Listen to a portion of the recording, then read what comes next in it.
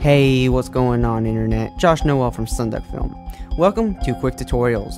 We have a requested tutorial on making a picture slideshow presentation.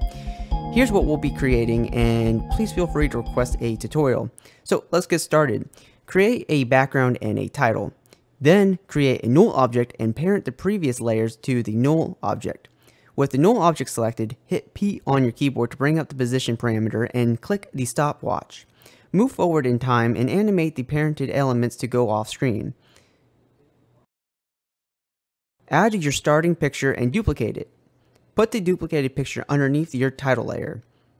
Duplicate your title layer. Set your duplicated picture to alpha matte.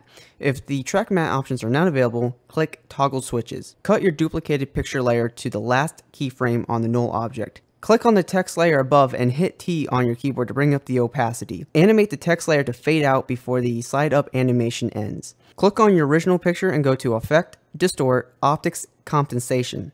In the Effects Control panel, click a check into the box next to Reverse Lens Distortion. Then click the crosshair under the View Center parameter and click where you want the center of your animation to be. In my case, I will move the crosshair to the couple in my photo. Then click the stopwatch for the Field of View parameter and move forward in time.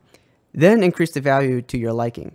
Finally go to Effect, Time, CC, Force Motion Blur.